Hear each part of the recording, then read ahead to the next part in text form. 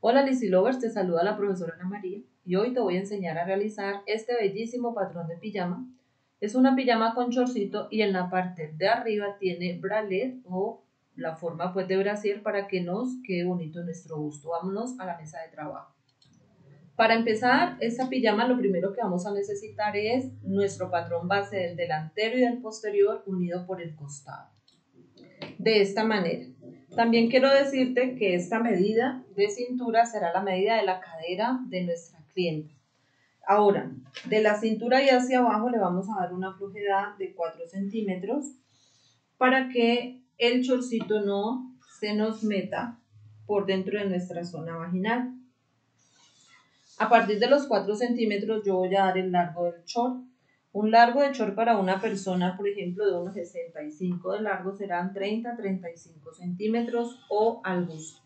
Y vamos a llevar todo el largo del delantero hacia el posterior, ¿verdad? Esta será la línea del el costado, que aunque no la voy a necesitar porque no voy a llevar costura en el costado, sí la necesito pues para hacer diferencia del molde y molde y no enredar. Y el molde, aunque no va a llevar pinza, vamos a tener que ubicarla por causa de formar la parte del brasiercito, ¿verdad? Y vamos a ubicar la profundidad de la pinza y vamos a ubicar también el radio de el busto en la parte de arriba. Recuerda que el radio del busto es la décima parte del contorno de busto más uno. Voy a necesitar el alto de la tira del brasier o desde la línea de espalda, que sería esto, puede ir ese, la parte de arriba del brasier, puede ir al alto de la línea de espalda o más abajito. Lo mejor es tomar del hombro y hacia abajo sobre la clienta la altura de el brasier. Entonces, yo voy a decir que va a tener esta altura del brasier. Voy a bajar más o menos 3 centímetros después de la línea de espalda para que no me quede tan arriba. Muy bien.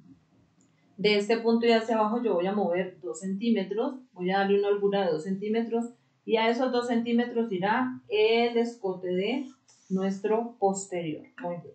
Ahora voy a llevar esto en forma curvita y a esta altura del, de la profundidad de la pinza yo voy a llevar el escote de mi bralet.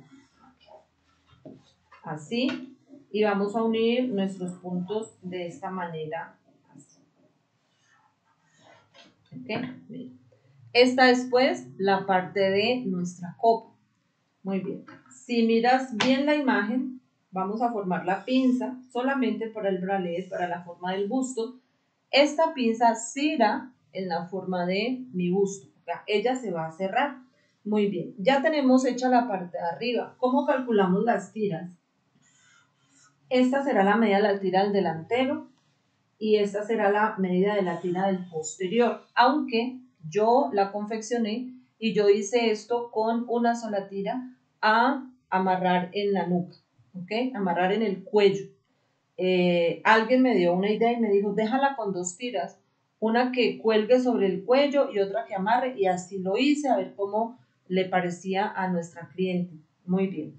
En la parte de atrás yo le voy a poner un resorte en, en la espalda para que ajuste y le voy a poner un resorte en la cintura o un elástico, pues que ustedes llaman. Ahora vamos a hacer la parte del chorcito. Para la parte del chorcito voy a tomar de la cintura y hacia abajo la cuarta medida de la cadera. Y la voy a llevar en línea recta hasta el otro lado del posterior. Ahora, hacia el delantero y hacia el posterior voy a dar la medida de los tiros. Recuerda que es la veinteava parte del contorno de cadera y en el posterior será dos veces esta medida y unimos en forma de curva para delantero y para posterior pero ahí todavía no acabamos. De este punto y hacia abajo voy a mover 1.5 en el delantero y en el posterior y vamos a rediseñar la curva del tiro, tanto en el uno como en el otro. ¿Por qué? Porque necesito darle holgura a la curva del tiro para que haya flojedad en mi parte vaginal. Ahora voy a unir curva con la parte de la pierna. Así. Y Usted me preguntará, profesora, ¿y el ancho de la pierna? Recuerda que el ancho de la pierna es haciendo el ancho de la cadera.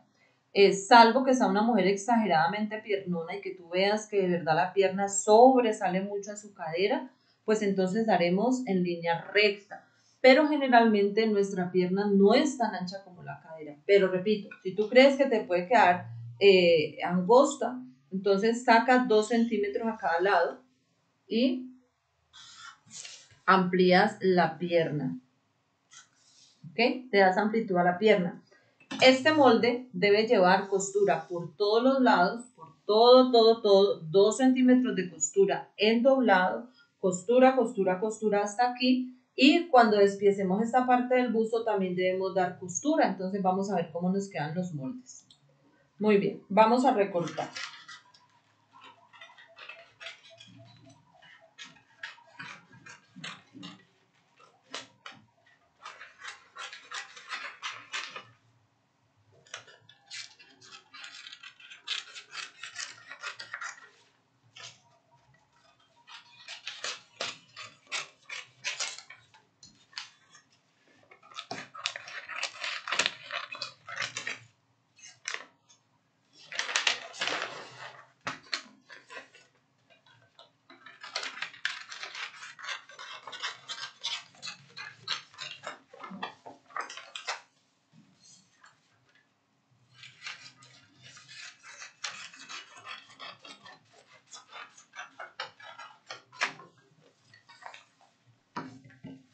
Muy bien, mira.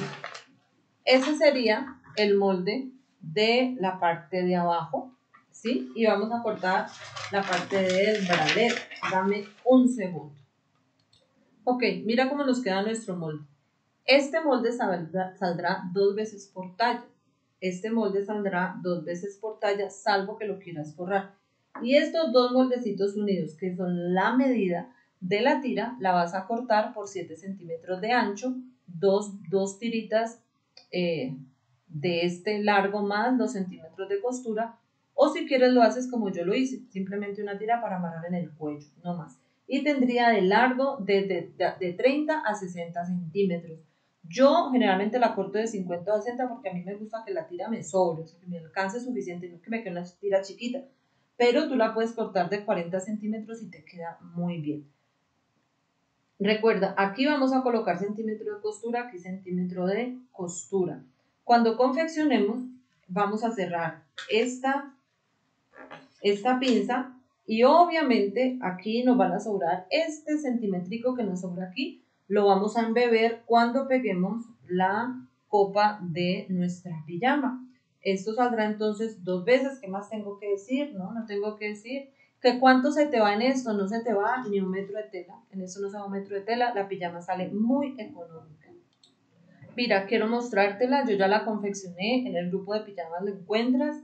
Eh, esta es la parte del busto. Esta es una talla L. Esta es la parte del busto. Esta es la parte de nuestro delantero. Y observa en la parte del posterior entonces, en la cintura le coloqué el elástico porque el molde nos dice que tiene un elástico en cintura. En la parte de la espalda también le coloqué un elástico para que no se cuelgue. Y bueno, esto se rebordeó o se dio un acabado completo con sesgo. Y es aquí donde tienen las tiritas pues para amarrar en el cuello o una sola tira. Alguien me dijo, ponle una sola tira para que cuelgue el cuello. De pronto eh, queda diferente, no sé cómo a la niña que se le hizo si le irá a gustar, eh, pero el hecho es que así quedó. También yo podría decidir partir esta tira en dos y que me quede la pijama con dos tiras, ¿verdad? Cuando la niña se lo mida, pues que me diga si le dejamos de esta manera, así, de esta manera, o si le corto aquí le quedarían dos tiritas.